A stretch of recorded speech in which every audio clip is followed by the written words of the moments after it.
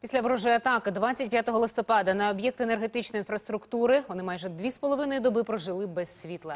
Три будинки в Дарницькому районі пройшли це випробування завдяки завчасно купленому генератору. Як виживали після російської атаки, розкажемо далі.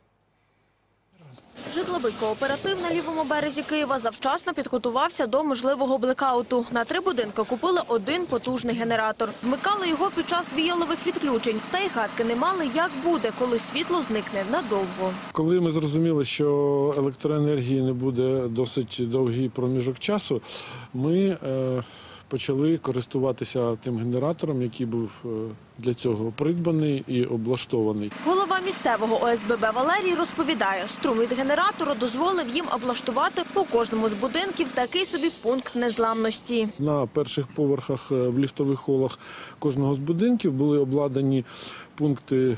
Як кажуть зараз, незламності там е, були подовжувачі, в які можна було зарядити мобільні телефони. Змогли навіть подати тепло в квартири, адже будинки їхнього кооперативу повністю на електриці. То ще буде тепло залежить від роботи насосів. За рахунок е, електроенергії, яку виробляє генератор, ми змогли подати напругу на насоси е, наших теплопунктів.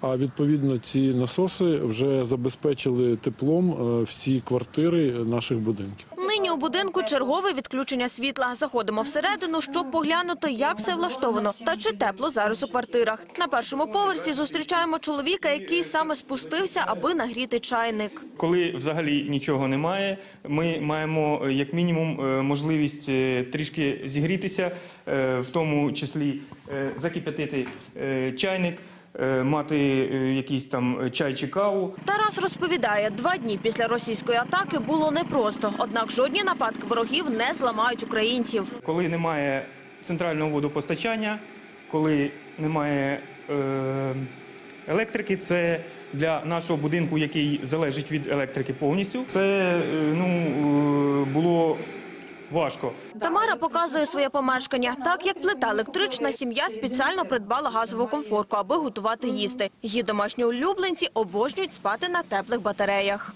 Кицька завжди спить на батареї. Це її саме любиме місце. І якби було була холодна батарея, вона б там не лежала. Котики гріються саме завдяки роботі генератора. Його вмикають по системі 4 години працює, одну відпочиває. Працюючи на повну потужність, пристрій споживає 2 літри палива на годину. Це було таке перше випробування. Все нормально. Ми його пройшли. В нас запас е, палива був зроблений ще раніше. Ми його зараз поновили. Люди кажуть, якщо росіяни хочуть нас зламати постійними атаками, у них це не вийде, бо ж українці впораються із будь-якими складнощами. Анастасія Ісаєва, Андрій Гегеля, телеканал Київ.